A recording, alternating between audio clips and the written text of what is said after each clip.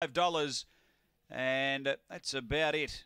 Everything else seventeen dollars or bigger. Gonna do driver heads those up. Late one of Mulga Jack as they are locked away now. Vacant box in four. Light activated. We're over the sprint here.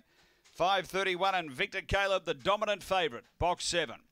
Racing. Step with them, Victor Caleb. Better speed, Harvey Spectre early. Now Victor Caleb rushing up. They go to the first bend. It's bumping a little bit there, uh, Victor Caleb with Harvey Spectre, but they lead together. Closing quickly is Black Antico out three wide. Then came Gunnadoo Peekaboo. A gap away Gunnadoo driver from Manu. And McIver Neville back at the end, off the back, uh, getting to the front now. Victor Caleb running on Black Antico. Harvey Spectre was next, and then Gunnadoo Peekaboo up to the bend. Black Antico moving up, went straight past Victor Caleb. And Black Antico beats Victor Caleb. Another well back shorty goes under. Next is Harvey Spectre and then came Gunadu Peekaboo, Gunadu Driver, Renew, and McIver Neville. The run here is around 31 and 25.